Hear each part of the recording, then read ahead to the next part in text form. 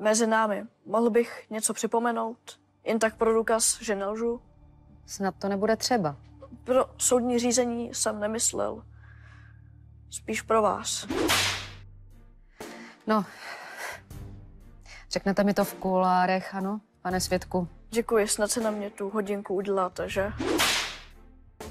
Pokusím se.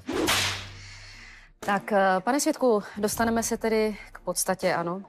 Eh, Vaším největším koníčkem je tedy programování, je to tak? Ne, Ne? ne. Všichni říkají, že jste v tom velmi dobrý. Pro mě je důležitý historik, lékař anebo znalec práva. Nemyslíte, paní soudkyně, že to tak je? Tak já si myslím, že ano, pane Světku, já se musím řídit právem e, naší republiky, musím znát spousty zákonů a nakonec tedy musím rozhodnout sama. Kdyby to bylo jenom podle zákonu, tak byste tady vlastně ani nemusela být. Zvládl by to za vás poměrně jednoduchý program. Pane Světku, až takový program vymyslíte, tak eh, si opravdu udělám tu hodinu čas a opravdu se s vámi velmi ráda sejdu. A ten program mi můžete v plné své kráse předvést. Helejte, paní soudkyně, to máte vlastně tak, že když vás něco baví, tak se ani neuvědomujete, že pracujete. Znáte tu pohádku o tom loupežníkovi? Pohádku? No, jak ten loupežník nesměl pracovat a pak najednou pracoval, ale ani si neuvědomoval, že pracuje a jen tak si s tou prací hrál. Já si s pra- tou prací taky hraju. Kde pak pracovat, to by mě asi nebavilo. Pane Světku, vás tedy práce nebaví, ano? A koho baví? Po příkladu mě, pane Světku. Pane Světku, co přesně pro svého otce doma děláte? Jednou jsem mu scháněl ženu. Ježíš, to byla fakt práce. Jste svobodná?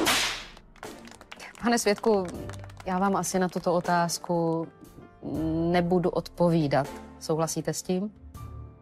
Pardon, to už je deformace. Já, jak vidím chytrou ženskou, je jich málo, no. Tak. Uh, tak. Pane Světku, abych tomu dobře rozuměla. Vy tedy dostanete jakousi sumu informací, kterou následně zpracujete do počítačového programu. Je to tak? Ano, jak jsem říkal, jste chytrá ženská. Děkuji. Eh, Pane Světku, eh, můžete mi konkrétně odpovědět, otec vás někdy nutí k tomu, abyste mu předával své nápady? Jak jste na to přišla? Ne, nenutí. Já sám chci, aby táta moje nápady používal. Někdy jsou lepší než ty jeho. Jsem fakt dobrý, co? ne, dělám si srandu. táta je jasně zkušenější. Mě někdy sem tam něco napadne. Dobře. Pane Světku, mnohokrát děkuji za tento příjemný výslech. Mě bylo také potěšením a kdybyste cokoliv potřebovala, až to tedy skončí, tak budu čekat v kuloárech. S radostí, pane Světku, děkuji, můžete odejít. Na viděnou, paní soudkyně.